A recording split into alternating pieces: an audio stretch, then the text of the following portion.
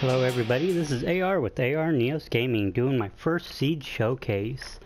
Came upon this seed while I was checking all the updates out in my newer seeds, seeing how the bug fixes had affected them. And of course we got that seed is 700000663. It is on large map and it does have large biomes activated.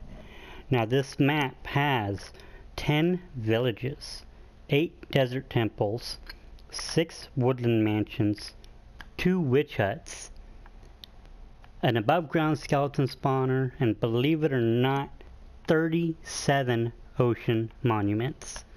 Now the coordinates for all these will be in the description, but the main reason I wanted to do the seed showcase is because I have found something that I have not seen before in any other seed.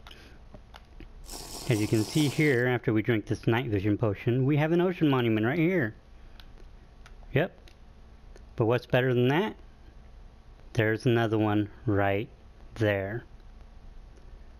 Now, we can top that. Because if I just move a little bit further, you'll see yet another one. Yes. Three ocean monuments. That could be one heck of a guardian farm. Well, I hope you guys liked that video and everything goes good. You guys can subscribe and hopefully I'll get some more of these out. You guys have a great day and enjoy your Minecraft worlds.